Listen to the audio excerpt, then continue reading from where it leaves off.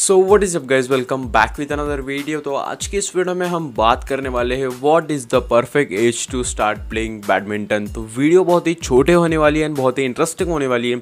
तो वीडियो का अंत तक ज़रूर देखिए। तो चलिए दोस्तों, जल्दी से हम वीडियो को स्टार्ट करते हैं।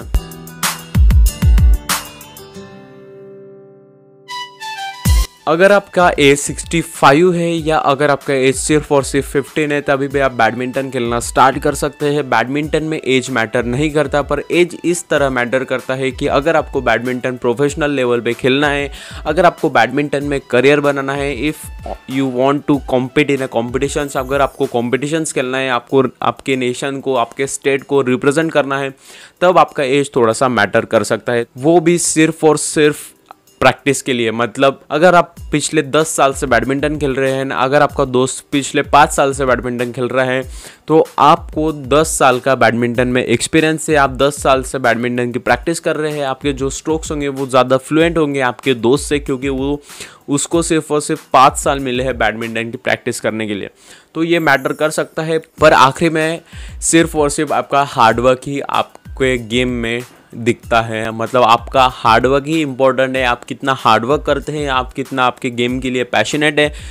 इट मैटर्स मोर तो मैं आपको एक सिंपली एग्ज़ाम्पल से बताता हूँ। तो मेरे लेफ़्ट साइड में है प्लेयर ए एंड मेरे राइट साइड में है प्लेयर बी तो प्लेयर ए ने बैडमिंटन खेलना स्टार्ट किया at the age of seven and now he is twenty and player B ने बैडमिंटन खेलना स्टार्ट किया at the age of eighteen and now he is twenty तो दोनों 20 साल के लड़के हैं ए एंड बी एंड दोनों एक ही क्लास में पढ़ते हैं। तो जो ए प्लेयर होगा, वो पिछले तेरह साल से बैडमिंटन खेल रहा है। वो पिछले तेरह साल से हार्डवर्क कर रहा है। बैडमिंटन का गेम इम्प्रूव करने के लिए।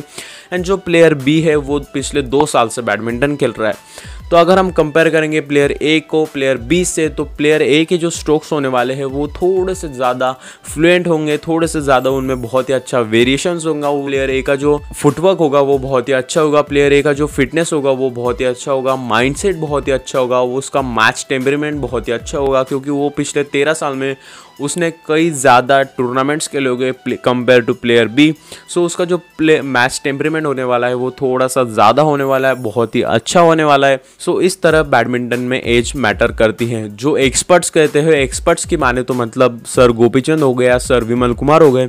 तो वो भी कहते हैं कि perfect age to start playing badminton is seven और एट नाइन ईयर्स अगर आपका बच्चा या आप खुद सात, आठ, नौ साल के हैं तो ये परफेक्ट एज हो सकती है आपको बैडमिंटन खेलने के लिए। पर आखिरी में मैं कहूँगा कि एज डजेंट मैटर अगर आप 15 के हैं, तभी भी आप बैडमिंटन खेल सकते हैं, बहुत ही अच्छा खेल सकते हैं। पर अगर आप अर्ली स्टार्ट करते हैं तो आपको ज़्यादा अपॉर्चुनिटीज़ मिलती है बैडमिंटन खेलने के लिए, ज़्यादा अपॉर्चुनिटीज़ मिलती है कॉम्पिटिशन्स खेलने के लिए एंड ज़्यादा चांसेस हो जाते हैं कि आप जीत सकते हैं।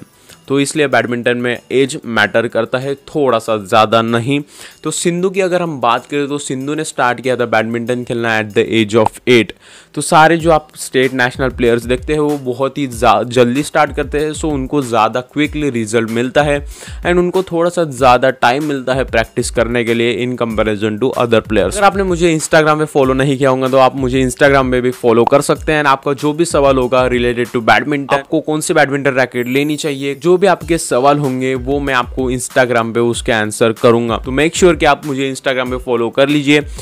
आपको लिंक डिस्क्रिप्शन में मिल जाए तो इस वीडियो में इतना ही। मिलते हैं नेक्स्ट वीडियो में। अगर अपने चैनल को आपने अभी तक सब्सक्राइब नहीं किया हो चैनल को भी सब्सक्राइब कर लीजिए और दबा दीजिए बेल आइकन को। उससे आपको नई आने वाली वीडियोस की नोटिफिकेशन सबसे पहले मिल जाए। तो मिलते हैं नेक्स्ट वीडियो में। Till then bye take care have a nice day